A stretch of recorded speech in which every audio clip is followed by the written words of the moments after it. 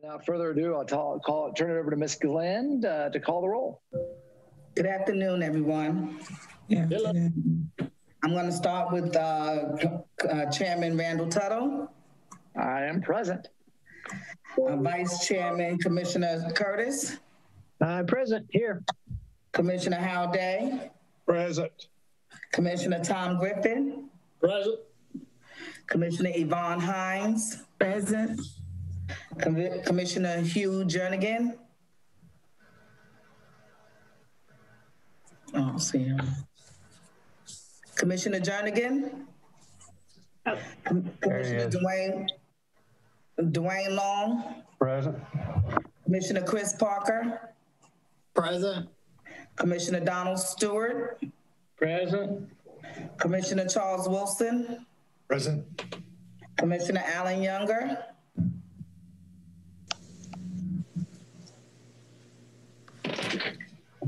Commissioner Allen Younger, Commissioner Hugh Jernigan, Here. okay, and then Commissioner Allen Younger. All right, thank you. Thanks, Patrice. Uh, welcome uh, to Jeff Coggins of Black and Veatch. Look forward to hearing from you, Jeff. And of course, then you see somewhere over there, there's Bill. Bill Brewer, uh, our water guru, is also with us along with additional staff. I think actually, Courtney, I'm still in some of your thunder. You're going to tell us all these things. So I'll turn it over to you.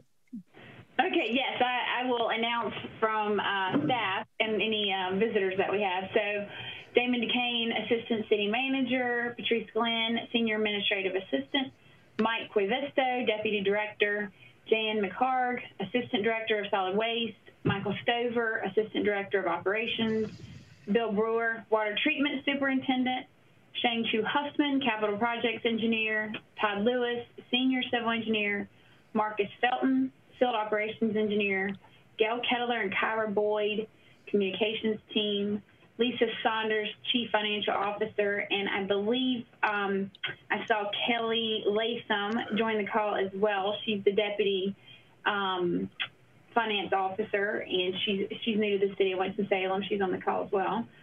Um, Jerry Bates, Purchasing Director, Marilena Jensen Guthold, Assistant City Attorney, Kirk Buerling, Real Estate Administrator, uh, Jakira Westbrook, Office of Business Inclusion and Advancement, Heather Curry, Budget Office, and Jeff Coggins with Black and Veatch. So we've got a full group of, um, of people on the call today. Um, just a couple of announcements that I'll, I'll go over real quickly. Um, we send out news releases, um, probably a few every week, and the majority of our news releases are for street closures or you know water shutoffs that are for water and sewer related work within the street.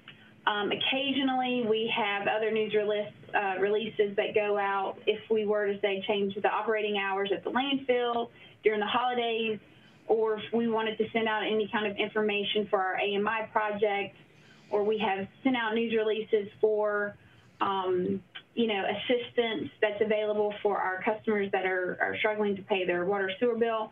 So there's a variety of reasons that we would send out a news release. And if anybody wants, from the commission, wants to be on that list to get those emails, if you'll contact uh, Gail Kettler, or you can send it to me, um, we'll add you to that list. I know one of the commission members is already on that list. So if you're interested in getting anything utility related as far as news releases, just, just let us know. Um, so I wanted to put that out there. Um, the renovations to our new space is on schedule. I'll you all to know each other. And even though you said it once, it needs to be said more than once. Okay, sorry. So um, it's the construction is scheduled to be complete by the end of April. So hopefully, administrative staff uh will be ready to move in um, at the beginning of May. So that's we're we're hopeful that that will happen. Uh, just a reminder that our capital and operating budget meetings are coming up. The first one is March 23rd at 1:30. That meeting will be to present the capital plan, and then April 20th at 1:30 we'll present we will present the operating budget and rate recommendations, and then April 27th we at 1:30 we have a follow-up meeting if needed to discuss any outstanding issues regarding the budget. Um, in the past, we haven't needed we hadn't needed that meeting, but um, it is on the schedule just in case. Will all these be Zoom meetings? Yes. Uh, so that was that's um, exactly what I was getting ready to say. Yes, that all of our meetings from here on out are, are, are going to remain virtual. I know I've had some conversations with some of the commission members about when we're going to be back in person. And at this point, I just don't have a good um, answer to that. I can't tell you when we'll be back in person, but I don't see that happening anytime soon. Um, so all these will be virtual. Any questions about any of that before before I keep going? Okay. Um, so Jeff Coggins of Black and Veatch is with us, and he's going to give the commission an update on the Neilson project. Um, I wanted to remind the, the commission about the scope of work and for this project and the critical need for it. Um, Neilson is our oldest plant. It is our largest plant, and it is the workhorse of our system. So uh, last April, we received bids on Neilson, and uh, they were significantly over budget. And at this point, at that point, we we waited. We wanted to wait a little bit to gain more clarity on how the pandemic would impact our our utility and our revenues. So we're at a point now where we um, where we need to move forward. So um, Jeff's going to go over the the project and go into a little bit more detail about um, you know the bids and where the market's at now. So, and then after Jeff's presentation We'll discuss the agenda items and then a financial update. If there are time, if there's time, we'll go over our normal water, sewer, and solid waste updates. And at the end of our meeting today, we'll go into closed session to discuss the Muddy Creek wastewater treatment plant uh, project with our attorneys. And at that point, we'll do a breakout session um, to go into that closed session. So, um, any any questions? Okay, with that, I'm going to go ahead and turn it over to Jeff. So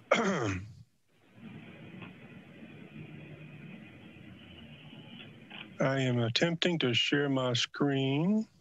Let me know when you can see it. We can see it. Okay. And thank you, Courtney, uh, and, and thank you all for the opportunity to, to speak with you today. Uh, I am planning to talk about, uh, um, you know, the, the needs and conditions of Neilson and and the purpose of the modernization study. And as Courtney said, uh, we can, uh, towards the end of the discussion, it's more details about uh, the April 2020 um, bid and where we see the market today. the presentation is, is, is divided into four segments. The first is just a little bit of a history of Neilson and its role in your system uh, from a capacity, placement, everything perspective. Uh, and then the two primary reasons for the modernization one is for water quality, uh, to improve water quality uh, to your customers. And second is this the re re reliability of the plant itself uh, to be able to, to meet, meet needs. And again, towards the end, uh, cost and schedule. Um, this is your meeting. Please interrupt with questions. Um, I am a little bit disadvantaged not being able to see who may have a question. So um, yell, yell, or, or whatever's appropriate, whatever you're normally doing in these uh, closed sessions to to get my attention. Uh, Courtney, if you will help in that regard, I'd appreciate it. So a little quick history. Uh, this is an aerial view of the Neilson property. Um, the original plant was a 24 MGD facility, uh, two process trains, each 12 MGD each, um, located over um, my, my, cursor's not working. Over on the lower right side, you can see the, the, the, the where the plant is. Uh, at that time, that was in the early 60s. At that time, it was a 24 MGD facility, uh, and, and the two raw water reservoirs were, were part of that. Uh, then in the early 80s, there was a, a 12 MGD module added. Uh, then later in the late 80s, another uh, 12 MGD model, module was added. So uh, the current facilities at, at Neilson are for 48 MGD capacity. That, that's uh, MGD is million gallons per day. So that's what the plant can treat, and that's what is permitted to do um, as of today. Uh, this gives you a glimpse of other projects that happened. Again, you see it highlighted in color as the original 61 and the 80, uh, 82 and 88 projects. There's been a number of uh, other small uh, upgrades to the plant. Probably the most significant was in 07 when the chemical building was modernized. Uh, but really, nothing was done to those original three, um, uh, the 61, 82, and 88 uh, projects since then. So um, your infrastructure is aging um, and uh, has been in need for some modernization for, for, for a number of years now. Um, you do have three plants. Uh, the Neilson shown uh, towards the lower part of your screen. Um, it is your largest of, of, the plants at 48 MGD, as, as Courtney uh, mentioned earlier. Uh, the Thomas plant to the to the upper right or center right, uh, that's the plant that was modernized um, uh, within the last decade. Um, it, it's it's it's um, uh, an 18 MGD facility, and the Swann plant uh, upper left is is a 25 MG facility. Uh, the Swann plant is located near the Yadkin. The Yadkin actually follows the uh, uh, left side of the county line here. Uh, the, the, Swann plant has its own intake facility on the Yadkin River. The Neilson plant uh, has a, it gets its water from the Idols facility. So all the water from Idols is also in the Yadkin flow to the Neilson plant. And then from Neilson, uh, in those raw water reservoirs, flow goes into the Neilson plant proper and also flows by gravity down to the Thomas plant. Uh, and your Thomas plant receives flow from the Yadkin via Neilson, uh, but it also gets uh, water from Salem Lake. This graphic shows the um, demands uh, of your system viewed through the lens of, of the different plants over time. So the blue bars represents uh, historical uh, demands of, of, of, the plant. And then also to the right of that, uh, under the 2035 heading, is the um, uh, future demands. Uh, and we'll see how it's distributed uh, in the future. But uh, the planning that was done in the past, so Hazen and Sawyer did a 2015 water system master plan. Um, and, and, most of these numbers come from that plan. Um, uh, HDR is in the process of updating that master plan, and one of the early outcomes of that uh, study of that work uh, was their water facilities capacity assessment. Um, and uh, the HDR HDR study has re reconfirmed that the previous numbers, the previous demands of the system are, are still in play.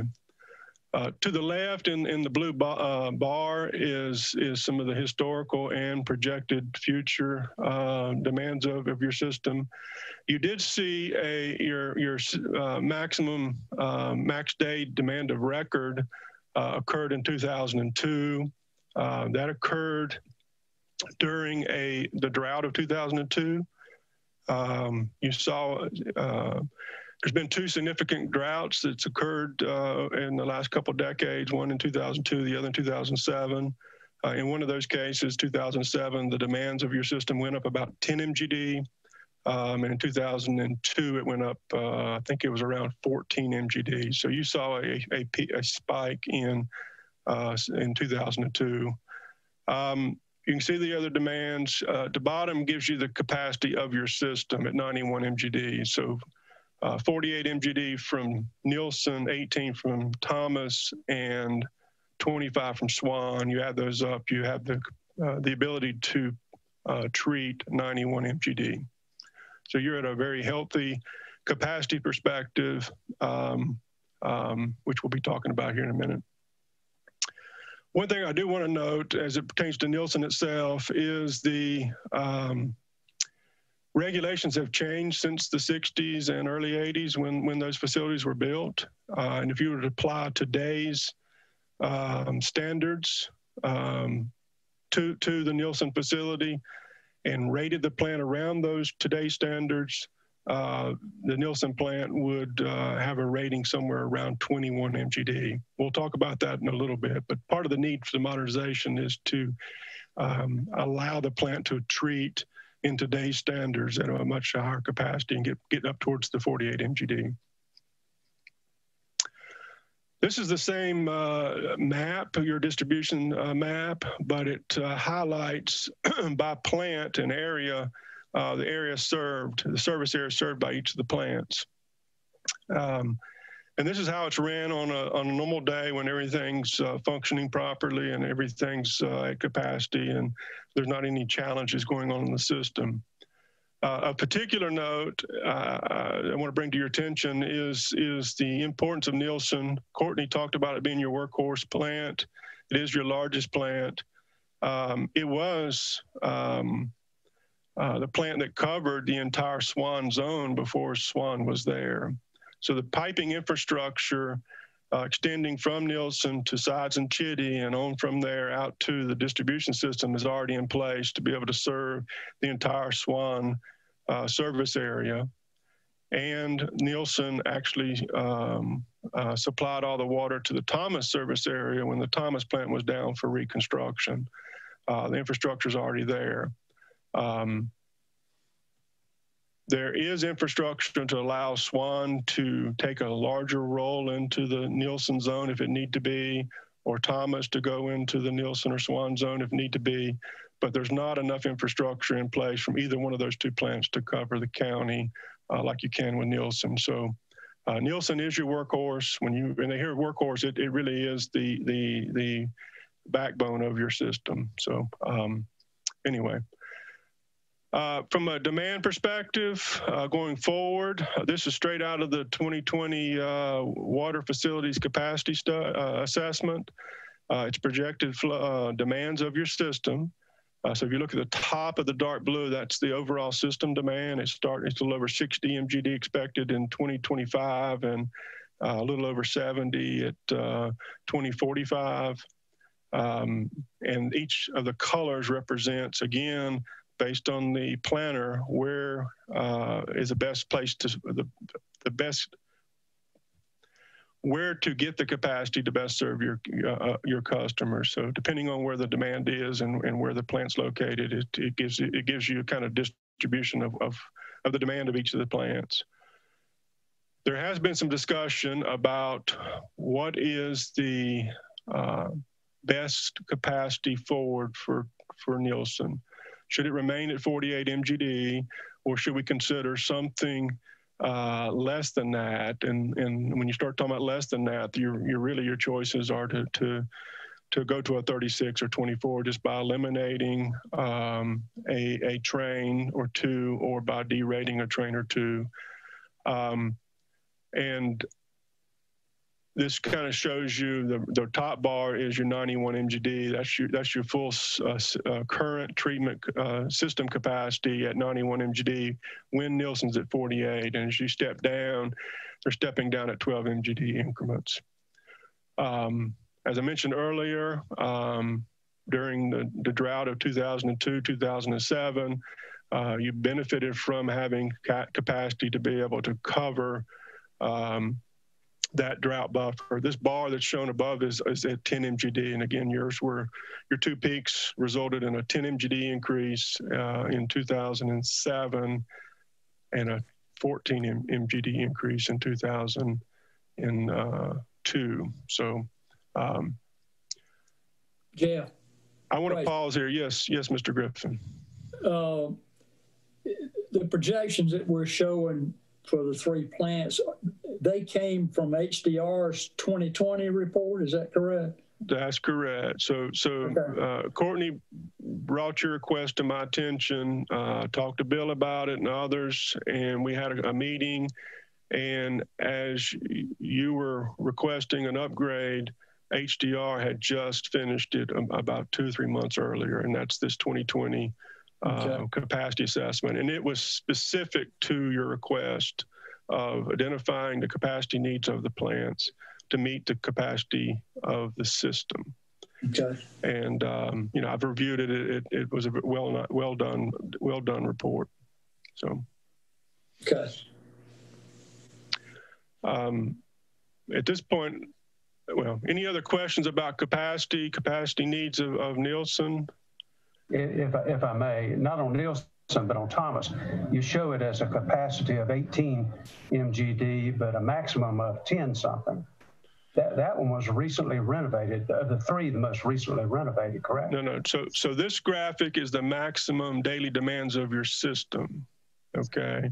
And then, so if you look at the far left column, the 2025 column, your, your system demands as projected by HDR is going to be 60, 61 MGD, the top of the, of the blue, dark blue.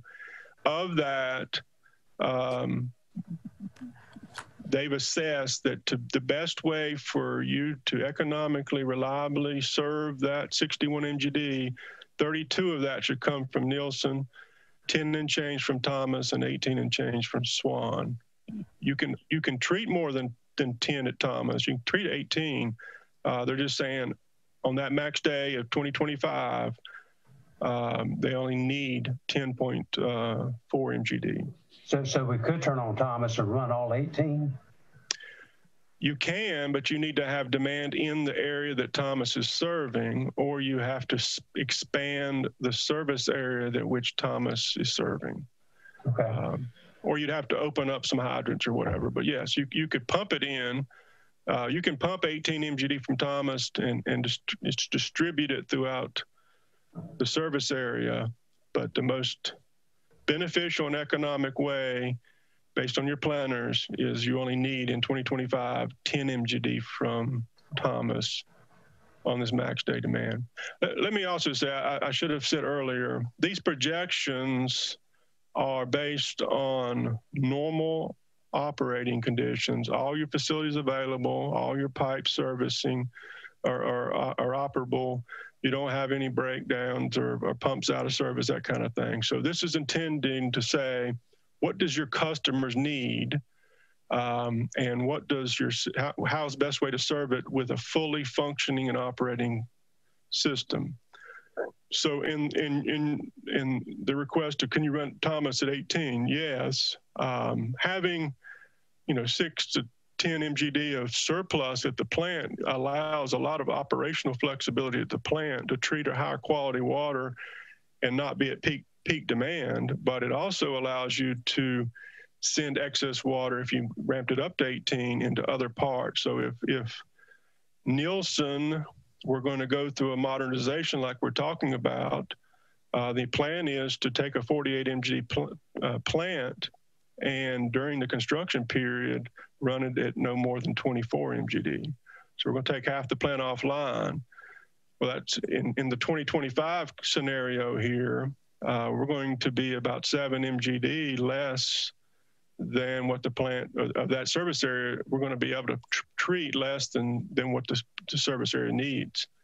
So that excess capacity during that period of time will come from Thomas and Swann. They may ramp Thomas up to 17 MGD and, and Swann up a couple MGD to balance it out. That's something that Bill and his staff will be trying to figure out is what's the best way to, to deal with a distribution network that's um, only has Neilson for a three or four year period at 24 MGD. This Harold Day. I got a question. All our plants together, are we producing about 50% of the capacity on a daily use of all three of them combined? So uh, average day demands, you, yeah, that is a fairly correct statement. I don't know if it's exactly 50, but I mean, it's you know, somewhere in the 50 to 60% range. Right. Yes. Yes. okay. That's just what I wanted to try. I was trying to calculate this here. We're about 50% of our capacity right now on a daily use on average. On average, yes. Okay. Uh, and, and that's one of the challenges for water treatment in that you, most utilities need to hit their max day demand. Those three weeks in the summertime, um, or, or depending on what season, you know, what, what the utility is. But yes, it's usually a summertime maximum, um, and you have to build infrastructure in the ground to pump it uh, out, and you've got to have the treatment capacity to do it. The other side of the equation is it's it's uh, it's harder to treat water in when it's cold. So uh, lots of times people say, well, you got a, a 91 MGD capacity, yes, but in the heart of the winter, it's really nice to get down in the 50 to 60 to be able to treat a, a harder quality or water that's harder to treat um, where, where there's less demand. So um, but yes, somewhere in the 50 to 60% range. I don't have the number exact. Uh, Bill may have it. It's, it's about 30, 36 MGD. So it's, it's, on average, it's about 40% of our treatment capacity. But as Jeff mentioned, you have to take into consideration those peak days in the summertime because that's, that's really where you use that capacity.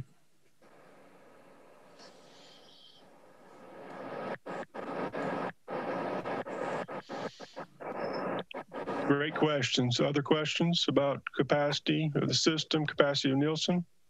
Bill? uh, Yes, sir. que- Question. Um, a while ago, Jeff had the thing about the 21 MGD if we were operating under the current state regs. How, much water are we producing at Neilson today? Are we producing more than 21? And if we are, is it not of a quality that we won't speak about or what? Help me with that. Well, it, it, it is today. Today, it's probably around around 20 to 21. The the challenge that Neilson has is those basins are are so short, and the way that they're designed is water water basically comes into them and it hits a wall and it's forced up, and that doesn't allow the floc that we produce to settle out. That'll, Yeah, and it, it pushes it right on top of those filters. It's a hydraulic issue. And it, you know, at the time the plant was designed, you know, they were treating to a five NTU turbidity standard. And, and now we're, we're treating to a 0.1 NTU turbidity standard. right. Does, does that answer your question? Well, I, I guess I, I- I was just concerned that if we're producing good quality water is basically what I'm asking. The, the answer is yes. We, we treat to a 0.1 standard. And if we can't reach that on a, even on a particular filter, we'll, we'll take it out of service. Okay. what happens in the winter is your water as it gets colder it gets denser and it and and that exacerbates the settling problem because the floc won't settle and what that does is it drastically shortens your filter runs and we we've been in situations at Neilson where we have to wash a filter every 12 hours and we normally get a a minimum of 72 hour runs and and that can be very problematic Yeah. Uh, Jeff, I've got a question. This is Don Stewart. Okay. Um, you had mentioned earlier uh, the functionality uh, operation of our system uh, and it being 100% operational. Is our total system 100% operational or is uh, there some drawbacks there? I don't know if I'm, I'm clear or not. but- Drawbacks. So, so my statement was rel- regarding the planners, the planning people who come up with these projections. They're not building in extra capacity at different facilities or uh, anywhere in the system um, to cover for a line break or a drought or um, a contaminant that may take for whatever reason, um, Salem, Salem Lake out of out of out of the equation. Um, that that gets more into sort of like a, a re- resiliency discussion, uh, where you look at where where are, where could you have catastrophic or uh, capacity limiting uh, occurrences that could come in your system, and how would your system react? And do you have the ability to to um, um, move water where your customers need them in, in times of those challenges. Uh, we're looking at this graph through the lens of treatment only. What does your customers need from a demand? And then when you start looking at resiliency, um, that's when you put in the the uh, the drought buffer. What what's your ability to to treat during a drought? What's your ability to treat if if Thomas were to come offline for some reason, like it did when it was under construction? or if if you lost a train at Swann, or if you lost the pumps at Swann. I know there was a power uh, challenge. Um, was it, last year, Bill, or two years ago that uh, the generators didn't come on, um, and uh,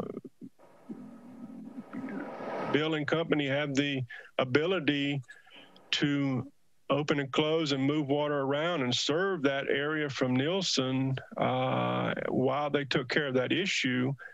And I don't believe any of your customers, and y'all may not have ever known that that even occurred. But that's that's the benefit of having the excess capacity and having the piping networks in place and having a staff that's uh, committed to making sure that uh, no matter what happens, that your customers are served.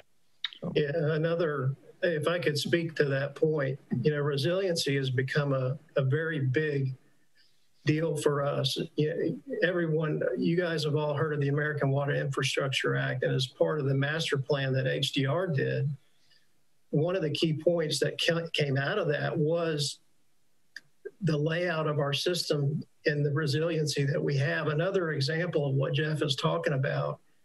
In 2013, we we had a, a a horizontal split on the main leaving Swann, and we had to shut Swann down to repair that main.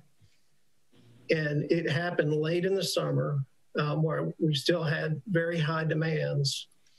Um, and Neilson was able to, to cover that. We, we took Swann out of, out of service and made that repair, and none of our customers were impacted. And had Neilson not not been available, at least to its current capacity, um, that would have that would have been problematic for the for the 1090 zone in and of itself. Um, and you know, Neilson, Jeff mentioned this, but Neilson can serve all five pressure zones. Swann can only serve three of the five, and Thomas can only serve two of the five. So that, that resiliency from an operational perspective to us is, is invaluable. What, what kind of impact will uh, the modernization have on our system um, as it's being um, as the uh, it's been modernized? So the plan would be to take half the plant out of service to do the modernization. So two of the four 12 MGD trains would come out of service and you would do upgrades on those. So the plant would then be operating uh, at or around a 24 MGD max for the period of the construction. You'd bring up the new facilities uh, that's just been repaired and modernization, bring those on, get comfortable running them, and then you'd go and do the same thing to the other half. So for just about the entire construction duration, which is currently 42 months, um, Neilson would be at a, a 24 MGD capacity. Uh, Jeff, Bill, this is Chris Parker. Um, I understand the importance of the resiliency that you're discussing, but tell me about this drought buffer. Is that does that include resiliency, or is that just based on irrigation needs? I mean, where do you come up with that that estimate for the drought buffer? So I'm showing in the graphic a 10 MGD buffer line there. Uh, in 2002, during the drought 2002, your demands jumped up. Um, it was around 14 MGD above uh, the max day demands on, on the previous year in front and year after. So I, I took that as the, the impact of the drought was 14 MGD. Uh, 2007, I did the same thing. Looked at the years preceding and postceding 2007, and 2007 was about 10 MGD higher than the than the other two years. Uh, so I took it as 10 MGD. I've, I've, on the conservative low side, put a 10 MGD buffer here, saying that the impact of a drought to your system historically has been around 10 MGD. So you have choices. You have choices. If you didn't have that excess capacity, that extra 10 MGD capacity, um, and and you were operating near near max demands, um, you're, you're, you, if you didn't have that capacity, you, would be putting out uh, notices to the public uh, to to initially do voluntary conservation. Uh, ultimately, if you really had to, you go to uh, mandatory conservation and really start restricting um, your your your supply is being restricted and you're wanting your, your, your customers to respect that and, and to use less water. Yeah, in, in addition to that, if, if we happen to, to bump up against that 80 and 90% of consumption versus production capacity, we, we would then, if, if we got into that realm, we would need to start looking for additional capacity. It, it just, it depends on the situation, but the, our, our resiliency is our ability to, to deal and mitigate um, not only um, operational maintenance or emergencies, but also um, environmental impacts such as drought. Bill, if, if I could just kind of follow up on that, I, I understand there's two two parts of this. One is, you know, how much water we're actually able to get, and during the drought, the water supply may decrease. But I don't think we've got a water supply issue coming into the system. What this drought is about is in these in this analysis is based on we got the water in the system, but we're you know how we can process that water, and and so if it's a processing of the water we still have water coming into the system that's available from the Yadkin or whatever other sources. So is it mainly irrigation? I mean, what what would create an increased demand from the, the water we're producing above what's normal? Well, anytime you have dry condition, your your demand goes up. Um, customers use more. A, a, lot of it is ir irrigation. Um, you know, it's usually associated with hotter temperatures. So there's a lot more, you know, out, outdoor activities involving water going on. So it, you know, it, our demand basically, weather has a big impact on it. And, and so it's all those things kind of grouped together. hopefully that that answers answers your question. But a lot, a lot of it is irrigation. I mean, people do irrigate a lot during droughts because they want their, you know, their yards to look nice. But um, it's car washes, swimming pools, kids playing in the sprinklers. Um, yeah. It's it's recreation and irrigation.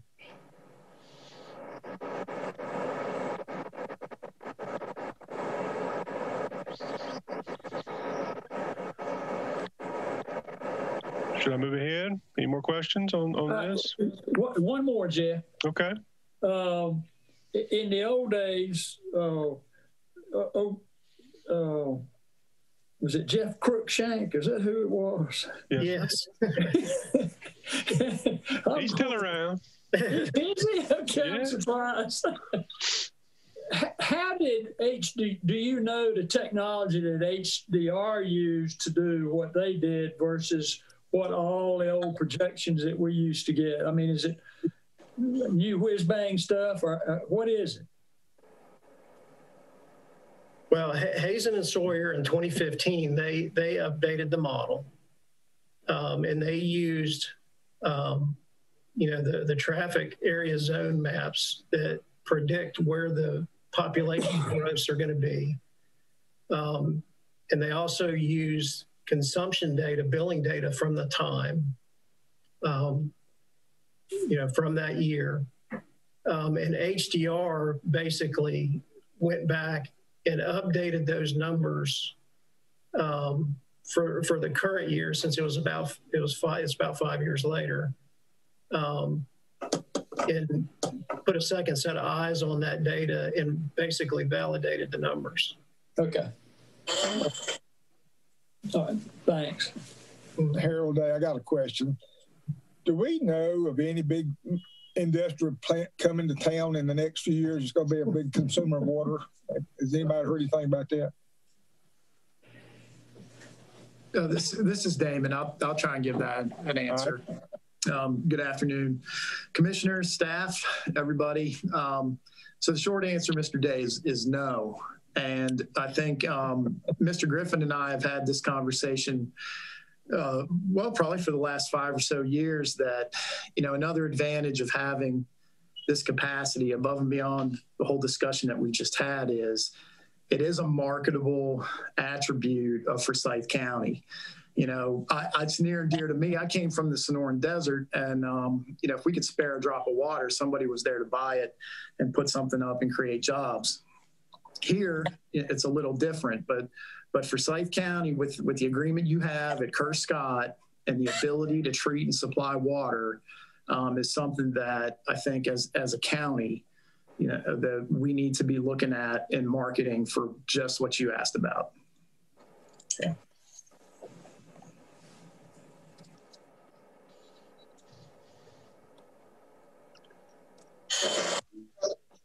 Any other questions? I'll, I'll, continue, and I'm going to speed up a little bit because I, I, think Courtney may be consuming a little bit more time than you were wanting.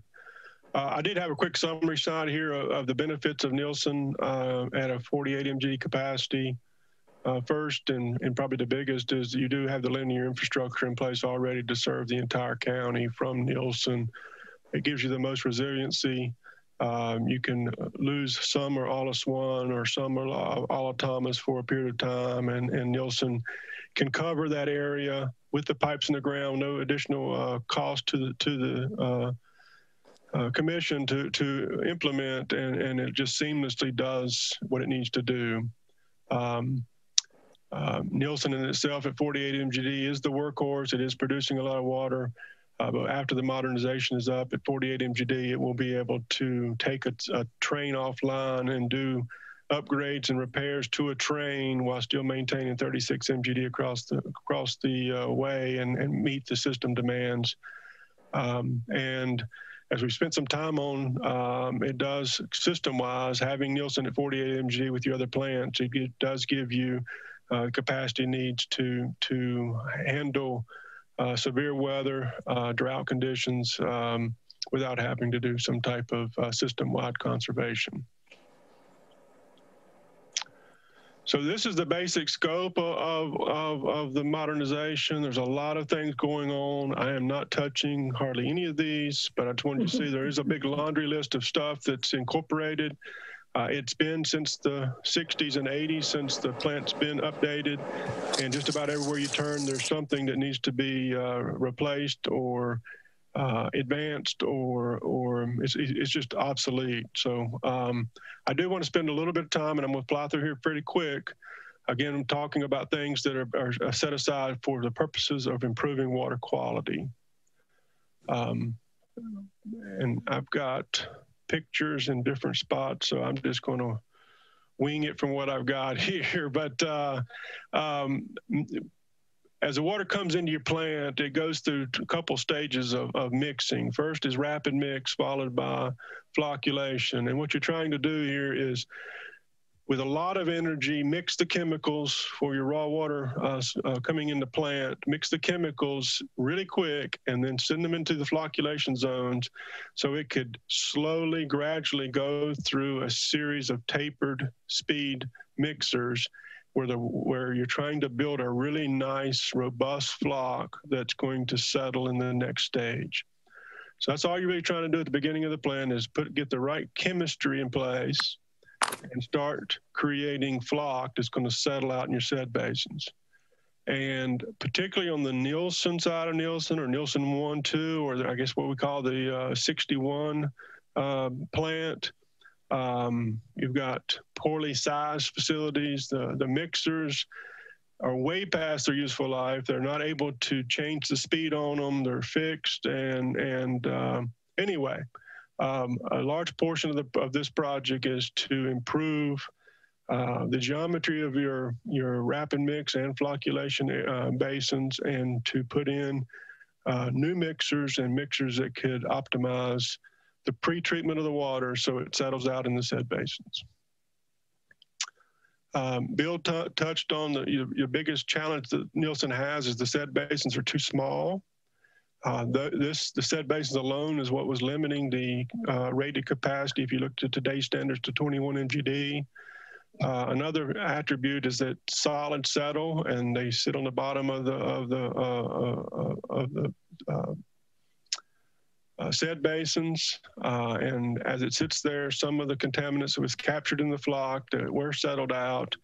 Has an opportunity to resuspend into the process and, and, and re-engage in the water where we want it to be, once it's removed, we want to get it evacuated out. So part of the project is to reconfigure the basin so we have better flow split, uh, put in plate settlers, which is a theoretical way of making the basins bigger without having to tear down walls and build, uh, put a lot of concrete in and a lot of walls. So it's a a higher technology of taking small basins and making them operate effectively like they're large basins as plate settlers. Um, and then we're going to put sludge collection on the floor. So when the solids hit the floor, the contaminants that are in the solids that have been removed from the water like we wanted to do, we want to evacuate it from that process and, and get it to our waste stream so it can't re-enter, re-enter into the primary flow stream of the plant. The filters have challenges. Hey, Jeff, Jeff, Yes, this is yes. Randall. Just really quick question. If you go back, and this is to the uh, Tom and Bill conversation on the 21 MGD. Mhm. So since since we are meeting the the current standards of it was point O's and some ones. I mean, I can't remember the exact. Help me, Bill. But anyway, since we're meeting the current standards, does that mean our effective capacity is only 21 MGD? I just want to make sure I'm understanding that. It's not 48. You have a rated capacity of 48, a hydraulic capacity of 48, and Bill and his staff have been operating the plant higher than 21. Anywhere in the 30s is where they've been doing most of it, low 30s to high 30s, and doing a spectacular job uh, of, of running the plant and treating capacities high, higher than 21 MGD and Got it. So- meeting all the current regulatory water quality requirements. The Got it. So 21 MGD is, capacity- go ahead. is what it would be if it were uh, permitted today. I get that. So, but our effective capacity we're running on is in the, let's say, low 30s. effective capacity. I, We're, we're, we're not a 48 MGD plan, is your point. Well, we, we can process 48 MGD through Neilson, and we've, we've done it in the past. And meet the standards. And meet Yes, the sir. standards. Yes, sir. Okay. All right. All right. Thank you. that's more of a testimony to your staff than it is to the plant. That's that's that's the that's the weak link here. Uh, a lot of the regulations are written around not having the quality staff that you have running your plants, because you've got smaller utilities across the area that may have less knowledge of how to run the plant. So the state regulates the facilities as if you're all the same, and therefore they have to make some a little bit more robust. So the, the standards are such that um, someone would- that anyway. Bottom line is your, your staff is is doing a tremendous job of of keeping the plant going. I say tremendous keeping it keep, keeping it viable with the equipment they've got and doing so uh, to meeting current standards. So he's doing a, doing a tremendous job. Thank you. Um, the filters, uh, you still got the uh, surface sweeps. Um, you know, today's filters have uh, air scour backwash. You get a cleaner filter. Um, I, a lot of the challenges we're having or having with it is that is they don't have uh, rate control valves to better con- control the flow, balance the flow between the filters. Filter to waste is is uh, um, which is when you bring a filter back on, it allows you to wash to waste instead of wash to the distribution system. Um, those are very limited. Uh, there's a number of things on the filters that just uh, are way outside today's standards that would be improved and replaced uh, as part of the modernization. Bill touched on this. Uh, the plant was built to a 5 NTU standard on filtered water quality.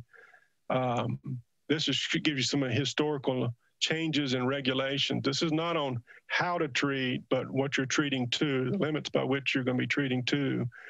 Um, the, the original Neilson 1-2 uh, plant, the original 24-inch module was designed around a 5 NTU filterability. And Bill and his staff are now required to operate at less than 0.1 NTU. And they have been able to do that. But again, uh, in certain situations, they're having to wash the filters every 12 hours instead of every three days, and uh, really, really have to keep their eyes on it. And when a valve locks up or or um, an analyzer fails or whatever, uh, there's lots of questions that they have to run out and just really, really uh, investigate. Uh, but um, this is the, the, change in regulations on the uh, water quality side. The last thing I believe, this last slide on, on water quality, is uh, you're currently recycling your backwash um, anything that's trapped on your your filters, uh, particularly in my mind, cryptosporidium and giardia cyst uh, is, is one of the primary things that happens on the filter, along with some other solids. When it gets trapped, you go through a filter backwash to clean that material off. That water right now is going down and being recirculating back to your plants, being pumped back up to your raw water reservoirs and and over time if if those contaminants are in the water it can concentrate because it's constantly being treated removed in, on the filters backwashed returned back up. So um, what you really want to do much like getting the solids off the floor of the uh, uh, SED basin you want this waste stream to be treated and discharged and not returned or at least treated and that contaminants removed from the waste stream before it is returned. So part of this project is to put in the facilities to uh, treat the uh, backwash supply so you don't have this situation. From a risk, risk, and, risk and reliability perspective, it's really the replacement of aging equipment. Um, first and foremost is your electrical systems there. Uh, most of the equipment has not been replaced since it was put in originally. Um, got some uh, um, equipment that was put in in the 60s and 80s. Um, it still has the fabric coated uh, wiring in the system. So uh, a lot of the parts needed to service this equipment to keep it in service is, is finding harder and harder to obtain. And Jeff, uh, uh yes, to, yes, to, speak to um, the point earlier, um, you know, we, we do have a very very talented group of people and, and support groups in instrumentation electrical. And in dealing with this older equipment, you know, they they get very creative in making it work sometimes. It just depends on the failure and what we're dealing with. But um, I cannot sing their laurels enough. They they do a tremendous job in that respect. From a chemical yeah. perspective, uh, yes, sir. Yes, sir. Uh, Don Stewart again. Um, so most of this work will be for like all the systems, and it won't be any structural or buildings or any type of additions like that, will it? So, so the primary goal was to reutilize as much of the facilities as possible so we're, we're not changing the filter boxes. We're not changing the SED basins as far as the making them larger or tearing down walls and growing them. We are creating some channels, if you will, out of concrete within some of the existing structures with, within, but not with, you know, outside. It's not growing beyond its footprint. Uh, on the waste stream, uh, so when you backwash the filter, um, or if you have analyzer uh, flow goes through instead of sending that somewhere, uh, all the clear water will go down to a new EQ base. And so there's going to be a new circular structure at the low point of the site with a small pump station off the side, and it'll pump to a clarifier. Those are two new structures um, that are to, tr- to treat wa- the waste stream from, from the existing processes. But uh, we were able to uh, modernize the uh, the administrative areas, uh, new new uh, break room, restrooms, control room, um, we're replacing all the SCADA within the same footprint. Uh, again, we're putting in plate settlers in the basins instead of making the basins bigger. Uh, we're taking a, a, a non-ideal uh, mixing chamber and putting in uh, redwood baffles uh, walls to segment it inside its current structure and putting in mixers that are more appropriate sized for for that space. But so yes, we're, we're adding two round structures in the back of the plant, but I believe everything else is original structures. So most of it is replacing equipment that's there or adding into some auxiliary equipment like some blowers for the for the for the filters or plate settlers for the basins um, and doing so within the same structures. Uh, there also is a backwash tank. We are adding a backwash tank as part of the supply, which will come back up later in our discussion. But uh, um, there's a backwash tank to allow to uh, better backwash the filters. Um, did that answer? Is that appropriately answering your question? Yes, thank you. All right, thank you. On the on the chemical side, um, many, I guess most all the tanks out there, they're in the actual chemical building are, are around 35 years old. There was an alum upgrade that there, there's those tanks are, I think, in the 12 to 15 year old range, uh, but most of the tanks are 35 year old. The the equipment piping are in its useful life, and and um, that building is going to be modernized as well. Um, this is some of the mixers are out over the basins. Again, these are the ones that uh, um, we can't taper the speed, and and it's part of the uh, process improvements. Uh, these will be replaced with new mixers.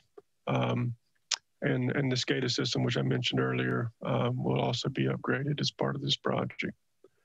Uh, and then the valves itself, um, uh, some of the valves that are open close, you close them and it leaks past. It's hard to really troubleshoot, isolate, maintain. Most most all the valves on the project are uh, on the site are being replaced in some fashion as part of the project. So it's uh, you'll have uh, new um, new valves just about everywhere.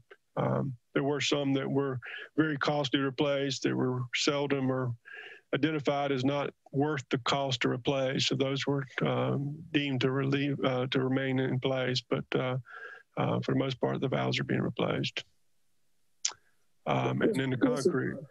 Go ahead. This is Harold. I got a question. Explain what the SCADA system is. You want to talk about that, Bill? You want me to do it?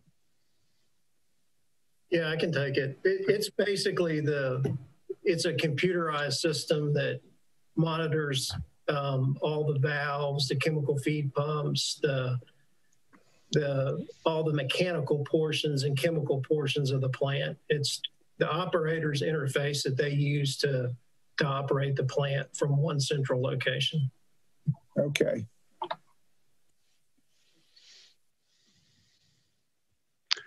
So let's go into cost and schedule. Uh, as Courtney said, as y'all know, uh, we we uh, advertised and received bids in the spring of uh, of 2020, and the bids came in uh, way over budget at 108 million dollars. Um, we had only two bidders. Um, we did look at the what was happening in the marketplace. We had many, many discussions with both bidders about uh, how and why. And, you know, we were at the time looking at ways to reduce cost and, and, and rebidding and whether what the timing of that need to be. But what, as a general rule, what we got from, from, from that bid period was that the economy was booming, that uh, most all contractors, particularly our utility contractors, uh, were at near max capacity. They were fat and happy, and um, were really not looking for new work. And when they were going after new work, they were not given it the same competitive um, um, situation they would have if they had to have the project and they were truly competing. Uh, we did only have two bidders, which, and they know there's only two bidders, so that even further uh, worsened our our situation. At the time of our, our bid, uh, uh, tariffs had recently been imposed, uh, U.S. tariffs on foreign goods, particularly on steel, copper, and aluminum.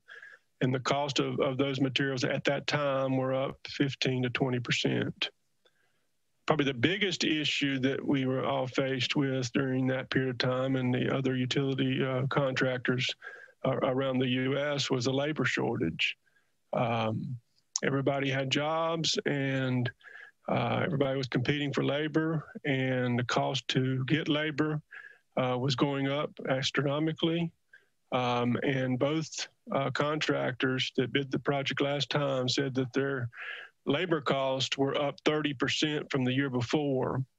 And taking on a new project uh, of this size was going to be further uh, they're already looking at 30% labor cost, and they were saying, how am I going to find labor to do this project? Um, so that, that was probably the single biggest issue that, that everybody was facing at that time. Um, and then um, it wasn't just at our utility contractors level that we had the challenges. Uh, it's there, it's the subcontractors were seeing the same thing. While we had two utility contractors bid the job, we only had one electrical contractor and one HVAC contractor, subcontractor, uh, that actually submitted bids. And uh, uh, our um, general contractors um, kind of did their own cost uh, estimate uh, in, in, parallel uh, with with the bid before receiving bids for electrical. That's their way of kind of making understanding whether the bids they're getting are are in line with what they would expect. And and they both said that uh, the electrical and the HVAC contract uh, uh, prices that came in were extra, extremely high for what they had anticipated coming in based on their analysis at that current market condition. So um, those all contributed to um, the bids coming in uh, at the $188 million. Um, so what's happened since then and, and what's different now? what should we anticipate now? Um, so you have six pre-qualified bidders that uh, can and, and uh, we've been talking with to bid Neilson coming up. The top two, Ulliman Schutte and Adams Robinson, were the two that bid the project previously. Uh, they're both uh, still very interested in the project. Uh, Kiewit Crowder and Archer Western are also interested in the project. And uh, Balfour Beatty, the sixth one, is um, seems to be they're going through a restructuring. Their leadership's trying to figure out whether they want to stay in the utilities market or not. So um, right now, we believe, based on our communication with the six, that five of these six contractors are excited about the project and have expressed interest going forward. That's not to say we're going to get six bids or five bids. That's just saying right now they're all interested, and if it was today, they'd be bidding it. So um, uh, if one or two of them were to land, land a big job between now and bid day, they could change their mind. But right now, we feel optimistic that we are going to have more competition at our utility contractor level, which is great news. We have talked to um, all six contractors about the market.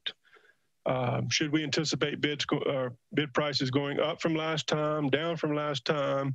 What are they seeing and why? Um, and what they're saying is, as a general rule, that things have stabilized. Unfortunately, they have not gone back to pre 2020 pricing, but they have stabilized some, somewhere close to, to the 2020 uh, pricing that we all observed. Uh, we are seeing more competition around the state um, in, in bids coming out. Uh, steel and copper and aluminum uh, is more available uh, and the labor market is more stable. Uh, unfortunately, again, the, the, salary rates have not gone down. They've stayed at the 2020 salary rates. But the risk of taking on a project needing the labor has gone away. Um, there is some shortages coming up, particularly with PVC, uh, stone, and cement. I think that's a kind of a reaction to all the works going on and those uh, commodities have been consumed but they didn't see that as a big issue. And they are seeing uh, on uh, recent projects that they are getting competition at their subcontractors level, and they are seeing multiple electrical uh, subcontractors and multiple HVAC contractors bidding work in recent uh, months. So we're feeling, and what our contractors are telling us is that the the sharp escalation that occurred between 19 and uh, 2019 and 2020 has stabilized, but unfortunately has not gone back down. It's just stabilized at that uh, 2020 offering. We specifically asked Ulliman Schutte and Adams Robinson if they were bidding it today, would we see a similar bid price? And they have said yes, plus or minus two or three percent, depending on just normal yearly escalations and uncertainty. So um, they're they're anticipating, or at least the words we're getting from from our contracting community is that the uh, we should be anticipating something in that uh, 108, 110 um, price range. So we have been working, uh, staff and Black and Veatch, you know, on what things can we do to the scope to reduce cost without impacting uh, long-term the plant uh, from from the objectives originally set out in in the project. Uh, one of the things that came out of our discussions with Ulliman Schutte and, and Adams Robinson was um, cleaning out the raw water reservoirs uh, was something that they never really got their head around in the short period of time in the bid period. Uh, and they just put in a budget number, and that budget number was, I believe it was three or four times what Bill's been able to get the reservoirs clean from uh, in past years. So we have eliminated the reservoir cleaning, and Bill is doing that uh, direct with his staff and, and subcontracting that uh, to be done outside the scope of this project. Um, we've looked at the scope, the, the actual um, product is being purchased and, and what's being done in the scope, and there's been uh, um, some reductions in some of the analytical equipment. Uh, some of the quantity of analyzers has gone down. Um, I mentioned earlier when we were talking about doing the chemical building upgrades, there were three tanks, the alum tanks that were um, um, only about 15 years old compared to the rest of the tanks. Uh, those tanks are going to be remain uh, going to remain in the project. And from an architectural perspective, uh, they took a harder look at, at, at, at, the finishes and the improvements and really the, the depth, the breadth of the improvements, um, and have, designed, have, have, made some reductions in some of the architectural, particularly in the flooring replacements um, and how far out into the plant it needs to go. Most of the work is being done more in the um, administrative areas, and, and the other areas are going to be um, uh, less improvements made. Um, and then we looked at what larger scopes of work is included now that if the bids were to come in high, um, higher than the, the budget going forward, that could be deferred to a later date and removed from the scope of project. So we've, we've got two bid alternatives included, or we, will have two bid alternatives included. One is for the backwash supply tank. Uh, it is something that could be added three to 10 years later, depending on when the need and budgets available. Um, and it could be done so without having to shut the plant down and, and adversely affecting the plant. And similarly, the improvements to the re residuals lagoons, um, they could be made at a later date as well. So um, um those two items, the supply tank and the residuals lagoon improvements, um, are anticipated to be done as a, a bid alternative. Um, it is it is the full expectation of staff that the bids come in within budget and those two items go through as part of this project being constructed. But in the event that they uh, if the bids were to come in over budget, uh, there is opportunity within the bid itself to come to you with uh, an alternative to get within budget. So.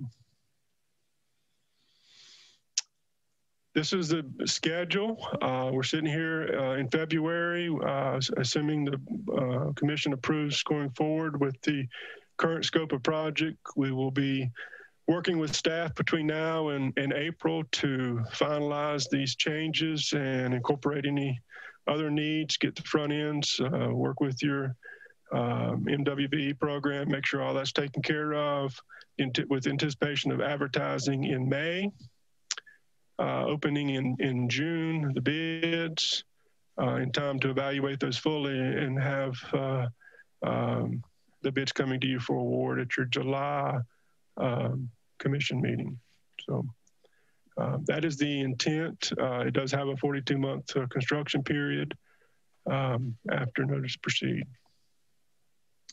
Uh, Jeff, you mentioned budget. What is budget? And is that that number up there in the dark blue? So let's uh, let's go there. So I'm going to, at this point, I'm going to turn it over to uh, Courtney to talk to you about um, budget. Jeff, I have one more question. Okay. Have we used any of those contractors uh, before that um, are considering bidding? So we did a pre-qualification um, um I guess it was probably 2018. Um, and then we've reevaluated, uh, Mike Stover and staff have asked that we reevaluate the contractor market to see if we should think about pre re redoing the pre-qualification.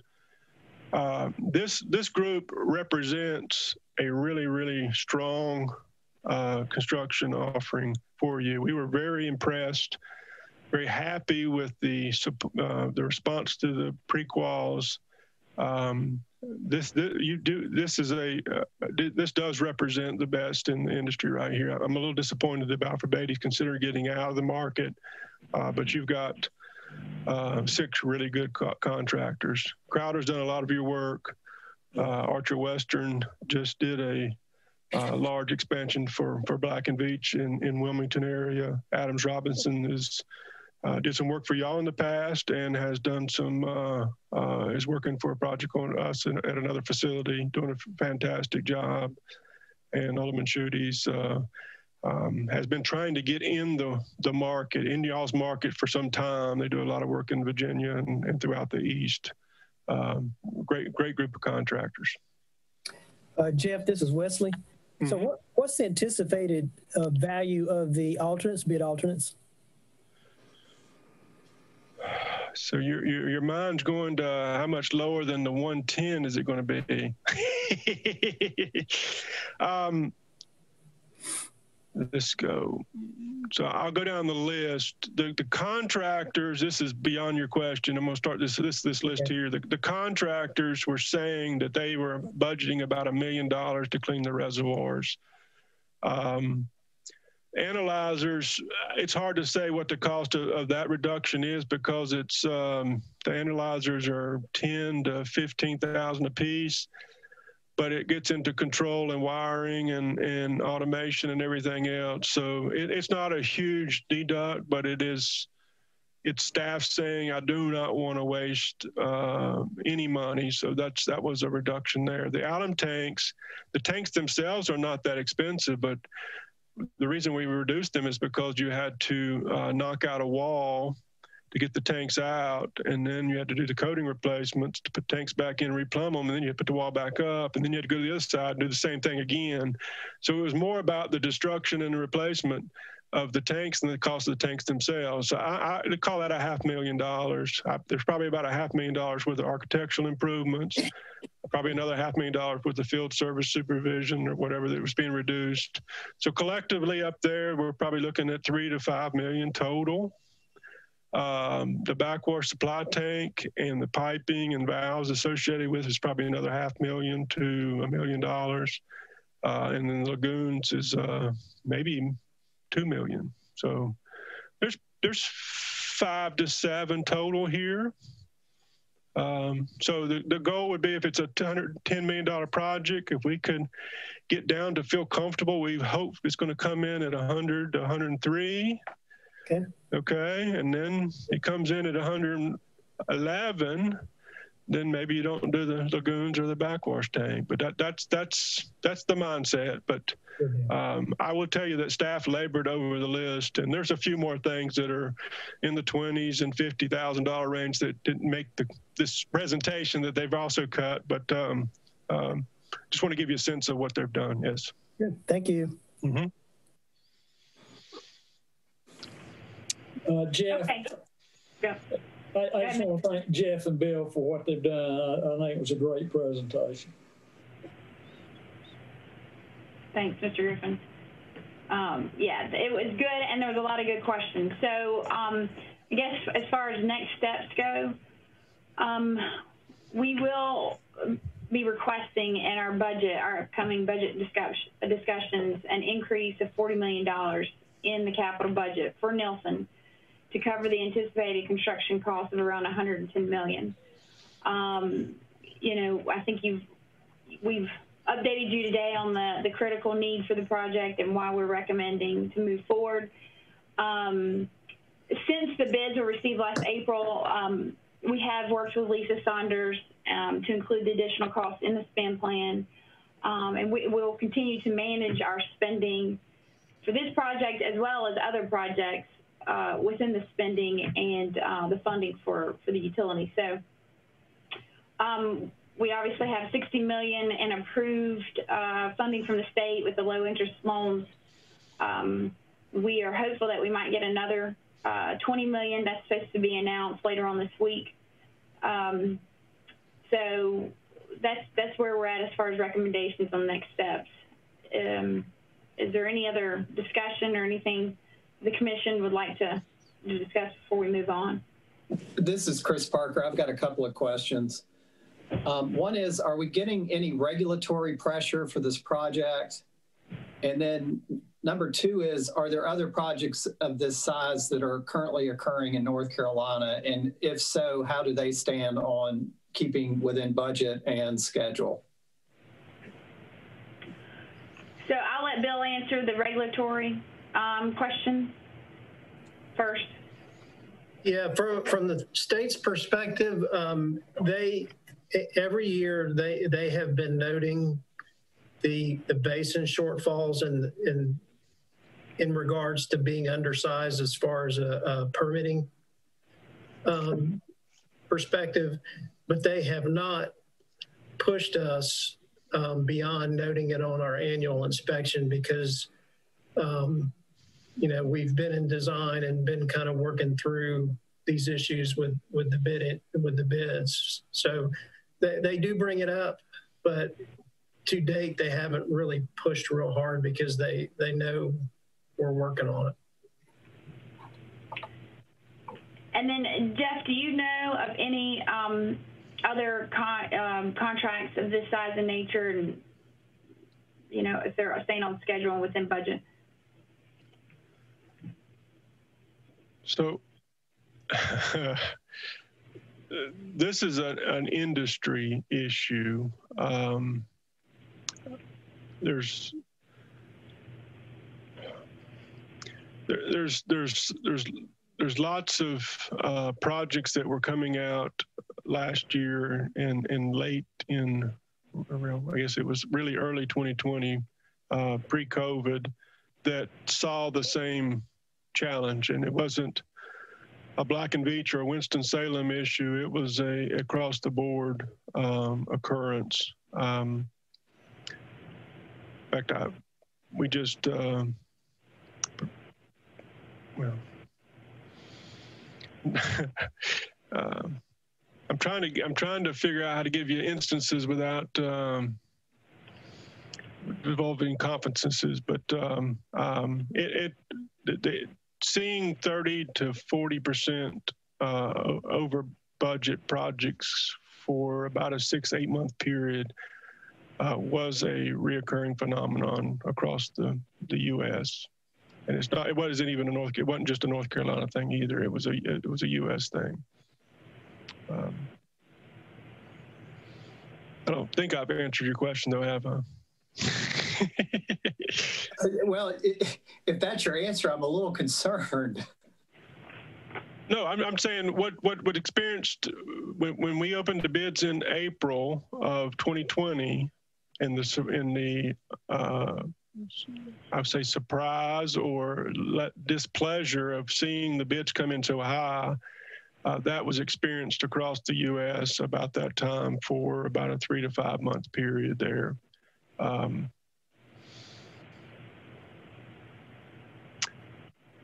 so in so HRSD just put out a, a project that uh, had a budget of around $320 million. And I think it came in just under five here in the last uh, couple months. So, um, but it was the budget for that project was put together in late, uh, early 2000, uh, 2020. Um, I know in Brunswick County, they put a, a project on the street that was um, about $60 million over budget. It just, it happened everywhere. And I'm, I'm trying not to give too much details on which project and why, because it, um, I just, it is, it's just I don't know. I just don't want to make it public, I guess, from from me. So, Jeff, I, I might have a question. Um, okay. What what does our engineering people that's putting the project together? What what are their feelings or estimate on the cost? Before it goes out to bids to the contractors, what is the feeling of the engineering, our engineering staff? So again, what what Black and Veatch has done to help council staff in in going forward and now to you was was twofold. Uh, what I described here in in the discussion was uh, our working with the contractors that were currently uh, familiar with the project that were pre-qualified to get their direct input on what they're seeing since they're the ones going to be bidding it. Um, and then internally, um, we have been communicating with with our guys as to what we're seeing market wise. We have not gone back in and done a line item by line item. Uh, we have not gone back in and done a line item by item check of the of the cost. Uh, we've assessed it um, based on trends, and we've uh, we've done, uh, I guess, our due diligence with the con construction community that would be bidding it. Um, and and both are saying the same thing that it is stabilized. So um, we're feeling uh, as comfortable as we can with the 100, 110 million dollar overall budget. Hey folks, um, it is we are 30 minutes behind our schedule. So unless uh, uh, we have other uh, super important questions, I'd like to thank Jeff and Bill and, and ask Courtney to, to move on. But before doing so, uh, any final thoughts on this issue? Thank you for having us. Yes, thank you. Well, I agree with Mr. Griffin. Thanks. Thanks to both of you. Thank you. Courtney. Yes. Okay. So, um, Jeff, if you would stop sharing your screen, I will share mine. And we are running, as Mr. Tuttle uh, mentioned, we are running a little bit behind. So we'll, um, let me share my screen. We'll go over our agenda next.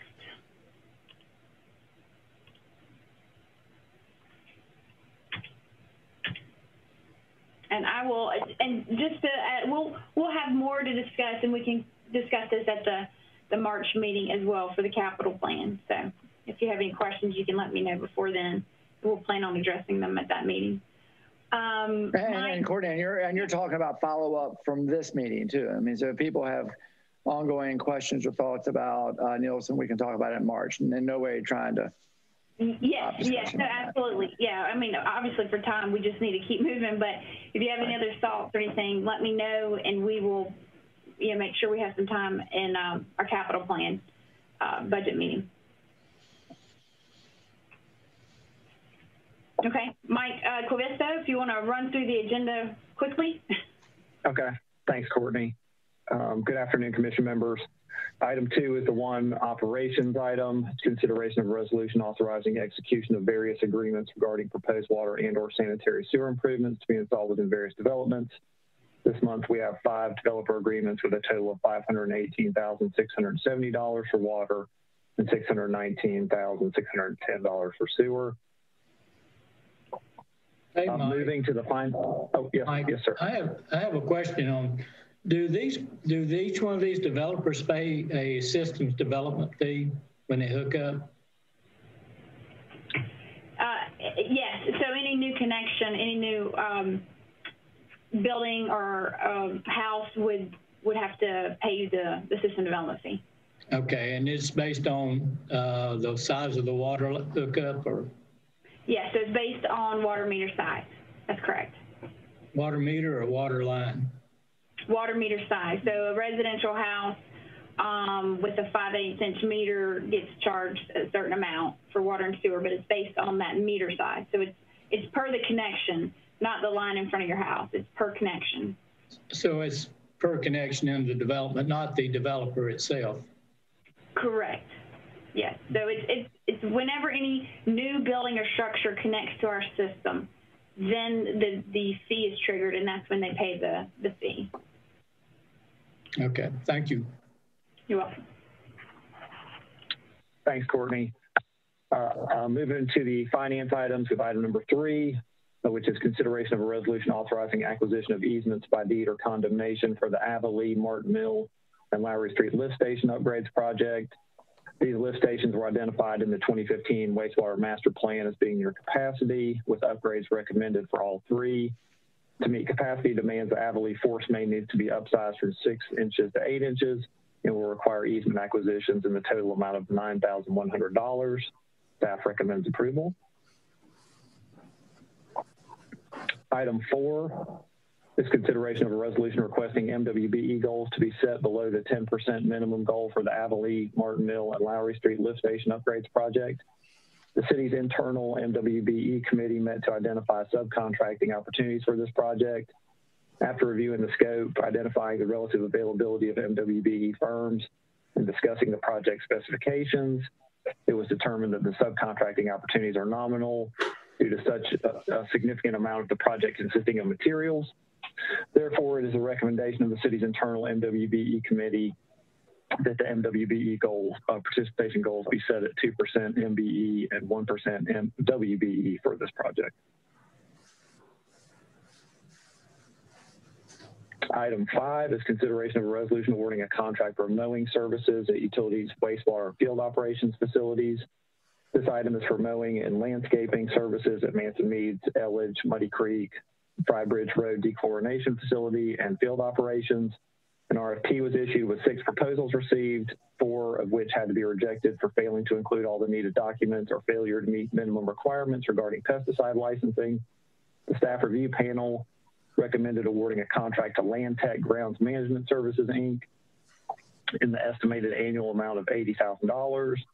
Contract can be extended for as many as two additional 12-month periods for a potential total estimated contract value of $240,000. Staff recommends approval. Mike, this is uh, Chris Parker. I had a couple questions. When Do Right had the wrong person signing, I, I mean, what? I, I don't understand that. I mean, what, that just seems kind of Jerry. Jerry, do you have a, a response to that, please? I, let me bear with me one second. I didn't understand the question quickly. Is it wrong person? Yeah, my understanding in reading the document was that a person who was not authorized to sign signed the uh, bid, and that was the reason why they were ruled out. I, I think the clarity of that is that no one actually signed the bid it's required that a person who is legally authorized to bind the company uh, to uh, fulfill this contract, no one signed the bidding document. So when you get something like that in, do you reach out to them to see maybe if they had an oversight? No, we do not. Legally, we're not allowed to give them the opportunity to sign that bid document after it's already been submitted. They're not allowed to alter it. Okay, so I see that Land Tech was the one who got the bid, and it looks like from that documentation they had the second lowest bid at eighty thousand. What was the previous year's cost on this? The the eighty thousand dollars. Their bid was essentially it wasn't that much. That's our annual budget amount. The eighty thousand dollars. In in in a typical summer mowing season, we probably will not meet that $80,000 budget. The previous year's budget was less, uh, amount of money was less than that. However, we added some scope changes this year, uh, added a lot of pine straw in areas and things like that, that that enhanced the landscaping piece. So it was difficult to compare apples to apples on this project. Okay.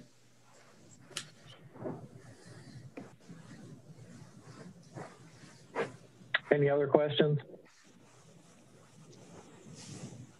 Okay, uh, moving on to item six, which is consideration of a resolution authorizing the transfer of funds to cover the cost of certain utility expenses related to road improvements along Meadowlark Drive.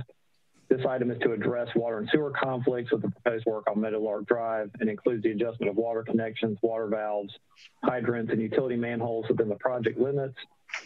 The construction costs for the water-related items are estimated to be $95,600, and the sewer-related items are estimated to be $1,800, and staff recommends approval. Uh, Mike, it's Chris Parker again. Could you maybe yes, explain, explain to us how how we decide whether these road costs are borne by utilities versus uh, the city or state? Courtney, do you want to um, follow up on that yeah, so based on our conversations? sorry, with engineering. Yeah, so basically it's the same way that we do it with North Carolina Department of Transportation. It's really who was there first. Um, so in situations where we had an easement first and then DOT comes in and puts in a road, they're responsible for the cost, similar to the city of Winston-Salem. So if we were encroaching, if we were in their right of way and we were there second, then if they need to do any changes, then um, then we're responsible for the for the cost to relocate those those utilities.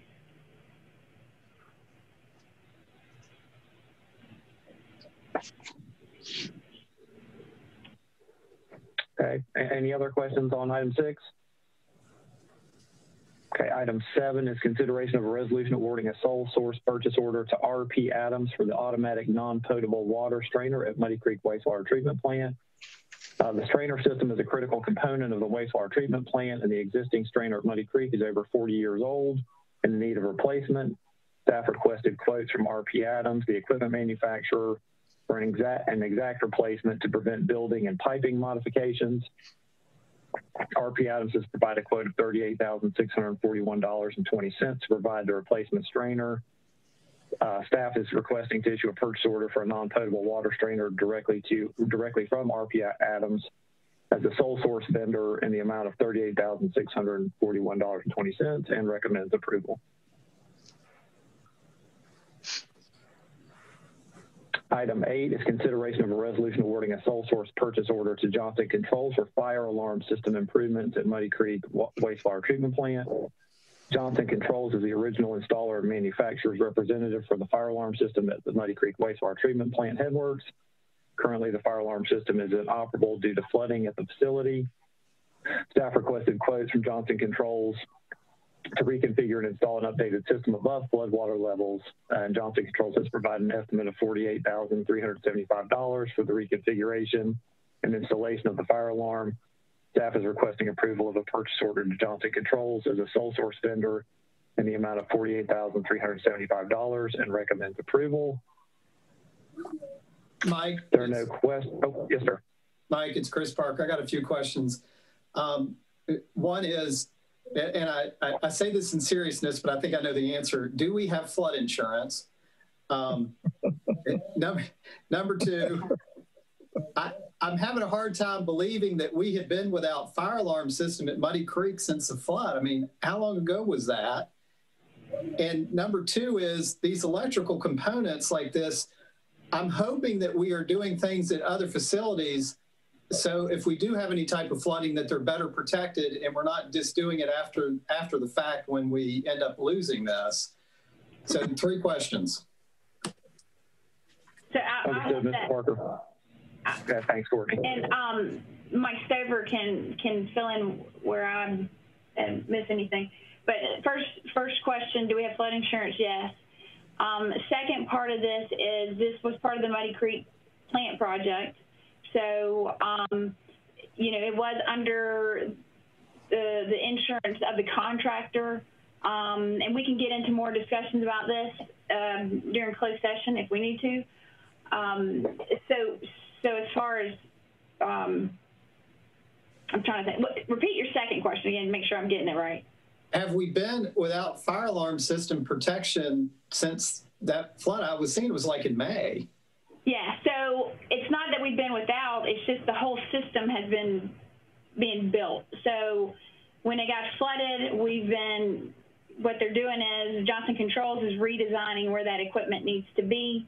Um, and, and so I, I guess, so I don't know, Mike, so if you want to add anything, I mean, I guess for a short period of time we have been without it, but I'll let you fill in those blanks. Yeah, I'll jump in. The, the flood that damaged the fire alarm system was in August of 2020. Um, that was about the same time we took over and, and done the 30 day operational test. The, the reason a fire alarm system is, is necessary to begin with is because of the elevator, which still is not functional.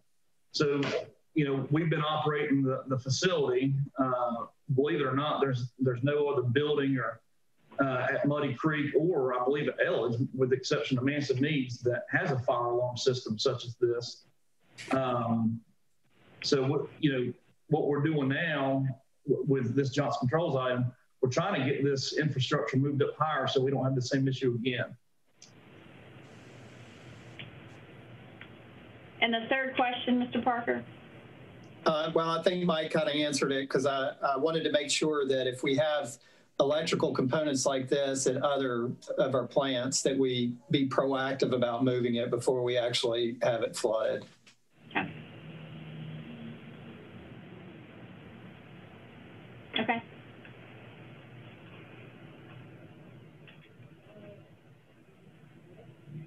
Mike, you're muted. But I believe this is my time to jump in. Good afternoon, everybody. Um, many of you are familiar with the Collection System Improvement Program. As a refresher, we put together some slides to highlight the success of the program so far. Uh, we are in year five of the CSIP program. Item nine is um, a contract for the second half of year five. The first four years, we took a single item uh, early in the fiscal year that, that covered the entire fiscal year. This year, due to COVID and the uncertain financial picture, we broke it in two parts. This is the second part of year five, like I said. This slide right here uh, shows just the overall reduction in sanitary sewer overflows since the start of the program in 2015, 2016. We've had a 40% reduction in, in five years. Uh, in, in fact, recently, I think between December 17th and January 27th, almost you know six six weeks, we didn't have a single SSO, which is the longest streak to date. This is a, a snapshot of, of, how many miles of sewer mains we've cleaned to date. Uh, we've cleaned 1,749 miles of sanitary sewer mains. Of that, 46.1% uh, are unique miles, which means, you know, they're not the same pipe. The other 54% could be repeat pipes where you've cleaned them multiple times over the last five years. The 46% represents about 830 miles out of our 1,800 mile system, which is quite impressive. This is uh, just a, a, snapshot of our condition assessment program. We've done a full condition assessment of 21% of the system, or about 384 miles. You'll see the heat map over to the left. That highlights the worst performing sections of the system. That's kind of how we know where to, to go next. Uh, we've looked at 15 different areas so far in the last five years. Uh, of those, uh, of that 384 miles of sewer mains, uh, we've identified almost 1,200 red flag repairs. Red flags are, are repairs that are in immediate danger of, of a spill or a failure. You'll see the picture in the middle is a, is a, a sanitary sewer aerial.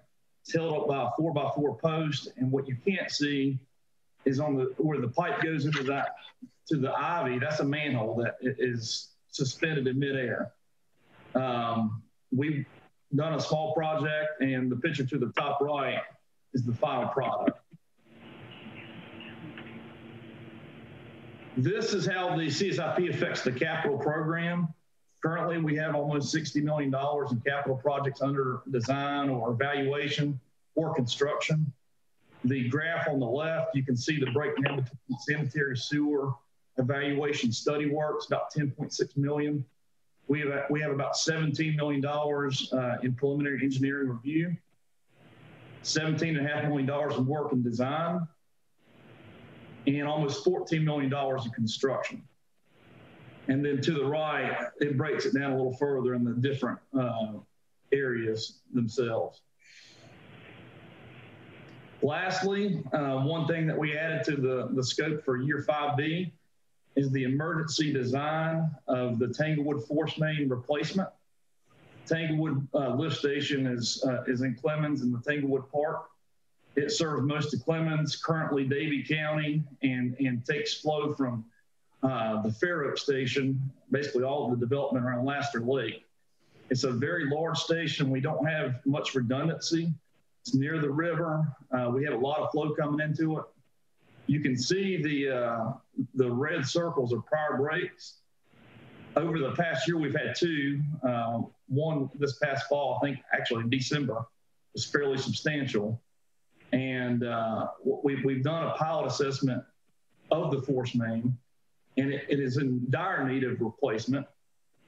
What the plan is, is uh, to expedite the, the design um, and run a parallel force main and then keep the existing force main available to transfer flow in the, in the event we need to shut the new force main down. Any questions on the CSIP Year 5B scope? Um, I, this is Chris Parker. I've, I've got a question. Does this, the scope of these projects year to year on the CSIP, is this a changing thing? I mean, is there any relevance to knowing how much we've spent in previous years? Or is, is, is that just going up and down? It, it varies. I have, I have those numbers. If you'd like, to, I can share them for you, Mr. Parker.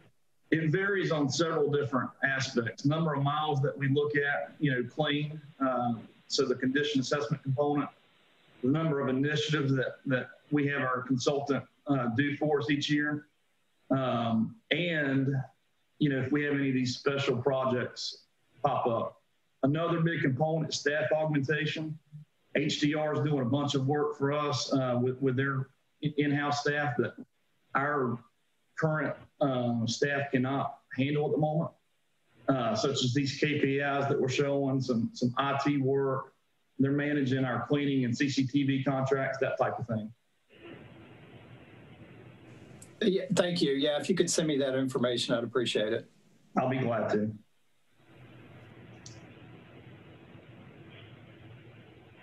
Okay, any uh, additional questions about item number nine? All right, moving on to item number 10, which is consideration of a resolution approving a change order with CITI LLC for computer hardware, software, programmable logic controller, and supervisory control and data acquisition upgrades at water and wastewater facilities. CITI LLC was selected in the past as the utility's preferred vendor for this type of work through a request for qualifications process. This item is for a change order to CITI LLC in the not to exceed amount of $519,986 for the replacement of the programmable logic controllers, security upgrades, and associated programming to address cybersecurity threats at the Thomas and Elledge plants, and to update the camera system at the Thomas plant. Staff recommends approval.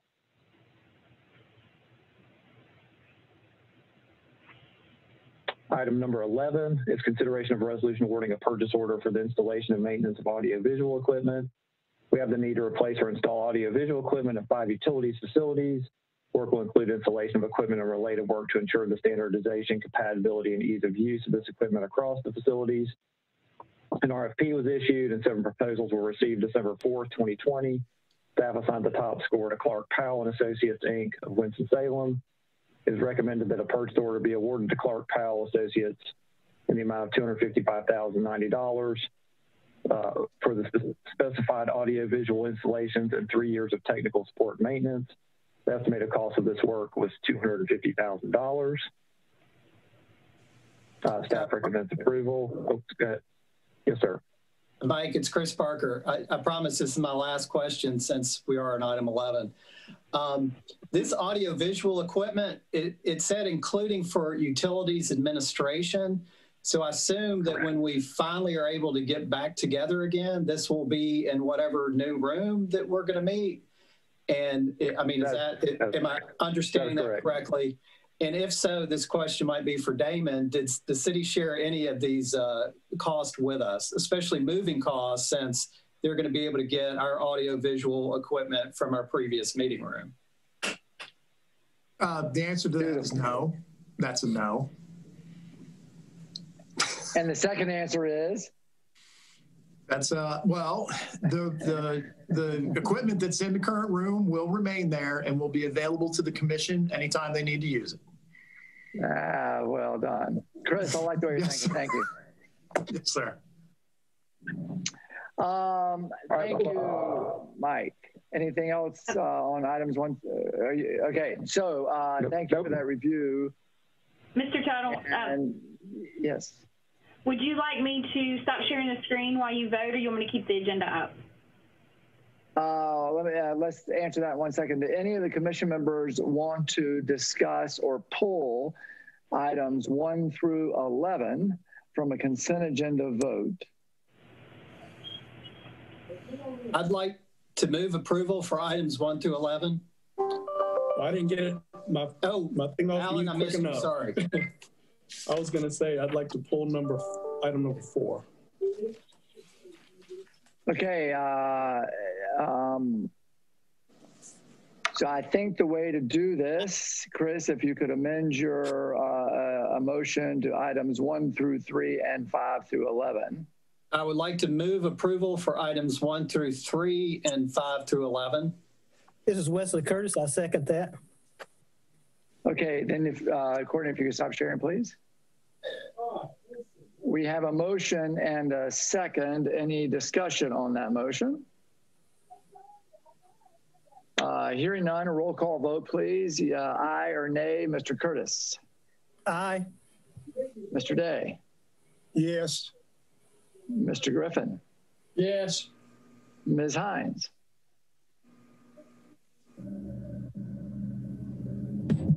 Yes. Thank you. Uh, Mr. Jernigan? Aye.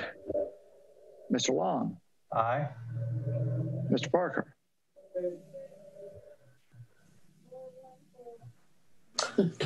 Did you? Okay.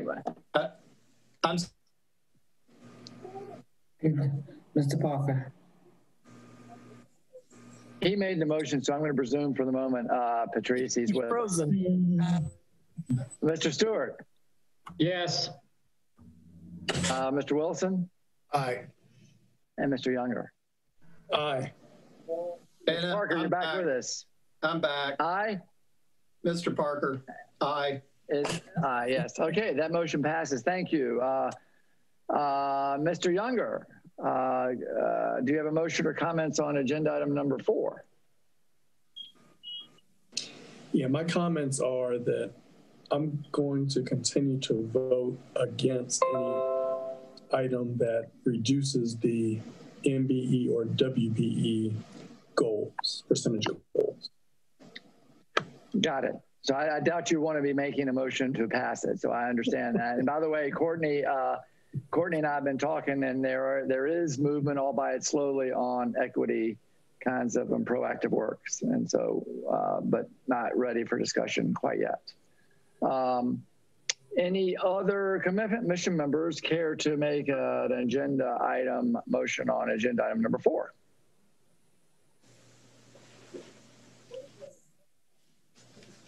This, this is Wesley Curtis. I, I move to approve. A second. Dwayne? We have a motion and a second. Any discussion? All right. Change a little bit, reverse alphabetical order. Uh, Mr. Young, because Mr. Younger, uh, you get to go first. Nay. Did I hear nay? I don't want. I don't want to put words in your Yes, mouth. you did. Okay, Mr. Wilson, Aye. Stewart, Aye. Parker, Aye.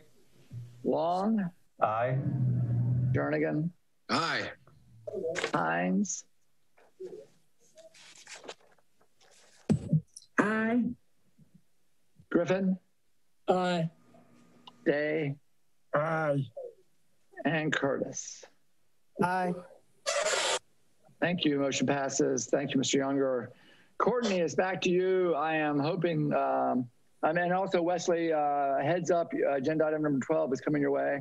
I'm ready. Uh, Courtney, any, um, what's next? So, um, uh, we were going to give a financial update, but if I know we're pushing up on two hours and being in a Zoom meeting, so I know that's tough. Um, if it's okay with the commission, we can wait and give our financial updates. Um, we can either send it through an email or wait to the next meeting and go ahead. Could and you, could you or Mike, would you or Mike just please say, which I think you're going to say it's better than expected. Can you at least give us that kind of heads up? Yes, Mike, you want to just go over a brief? Super brief. Yeah, if you want to, yeah, I can, Courtney, if you want to, do you want to share the, do you want to share the PowerPoint and I'll just, yeah, we'll go, we'll hit a couple of the, of the high notes. Uh, um, Realizing that we have counsel on the line and are paying for these counsel, so just keeping in mind that. Right. Yeah. So here's our just our revenue update it's it's about 3.7 million dollars higher through the first seven months of this year compared to last year.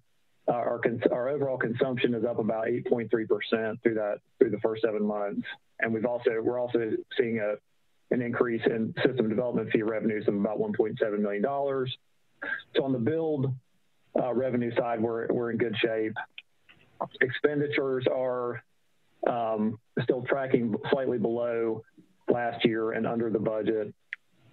So that's good news. Um, we currently have about 15,000 past due accounts and a total of 5.1 million in past due billings. At this time last year, we had about 2.6 million at the same time. Uh, and then we did reinstitute late fees in November and uh, terminations for non-payment in January. So we've added a couple of new uh, graphs here just to show you real quickly. This slide shows our past due balances since last April, uh, with the blue bar representing our current past due balance total, and the orange bar representing the past due balances at the same time the previous year. Um, and you can see we're, we're trending, uh, things are trending uh, in the right direction there for us. Um, we're we're um, so I'm uh, also trending in the right direction here. This shows the history of our delinquent accounts, uh, where we're also seeing the decrease in January when we had 15,009 accounts and the average delinquent balance at that time was $337. So we started to, um, and we're also continuing to see customers sign up for payment plans. We've currently got about 1,700 of those active with a total of about a million dollars in balances tied to those um, payment plans. And then we've added a couple of other um, new slides here um, with the delinquent balances dropping in January, um, it's still ahead of last year. We did kind of want to start to put together some year-end projections to show you all. The blue shaded area represents our FY21 budget of $111 million in total revenues. As mentioned previously, we're about 3.7 million ahead of last year. If our revenues for the next five months mirror last year, we'll finish with about 118 million in uh, build revenue, which will be about 7 million more than the budget. And then this next slide here um, shows our current past due balances in yellow and the and also shows us that we've got a little bit of a buffer if we don't make as much progress with our collections as we'd like to before June 30th. Um, and and also I'd like to note that based on the first seven months, our consumption and revenue, you know, this is kind of this 118 we're hoping is, is kind of a, a conservative estimate for where we may end up. So it is a it is the the picture is I would say more positive, um, Mr. Tuttle, and um, we've also got some customer outreach opportunities that are coming up. The city and county are both receiving some funds that we're hoping will help our our customers um, moving forward, and there'll be more word coming out about that about that within a month or so. Thank you, Courtney. Are we ready to uh, go to agenda item number twelve? Yes. And Mike Stover and Jan, our apologies for uh, cutting you short. I will take responsibility for bad time management, but it was all of the other questions. It was really not my fault. I'm just joking. Uh, uh, Mr. Curtis. Uh, thank you, Mr. Tuttle, Chairman Tuttle. Um, I move that the Winston-Salem Forsyth County Utility Commission go into closed session. This is February the 8th, 2021. Go into closed session pursuant to North Carolina General Statute 143, 318.11A3 to consult with its attorneys concerning the handling of claims by MWH con Contract con Constructors Incorporated and to preserve the attorney-client privilege. Second. We have a motion and a second, and do uh, I'm looking at internal counsel. Do we have to do a roll call vote? Uh, yes, please, Chairman. Oh, okay. Mr. Curtis. Yes. Day. Yes. Griffin. Hines. Yes. Jernigan. Yes. Long. Yes. Parker. Aye. Stewart. Yes. Wilson. Aye. Younger. Yeah, aye. Okay, we are moving into closed session. Thank you to all who are saying goodbye. We appreciate everything you do for the Utility Commission.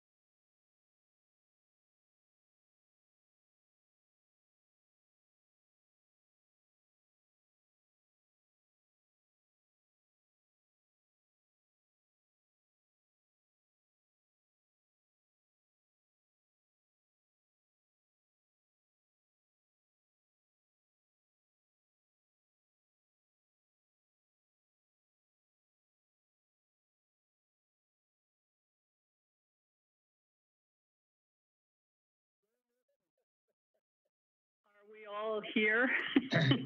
Yeah. Are we all present? I know It we have, make the time travel.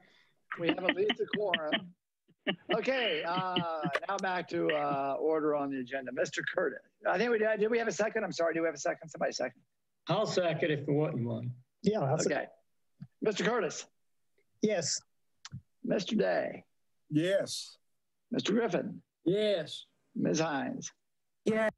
Ms. Dur- Mr. Jernigan, Yeah. Mr. Long, Yes. Mr. Parker, Aye.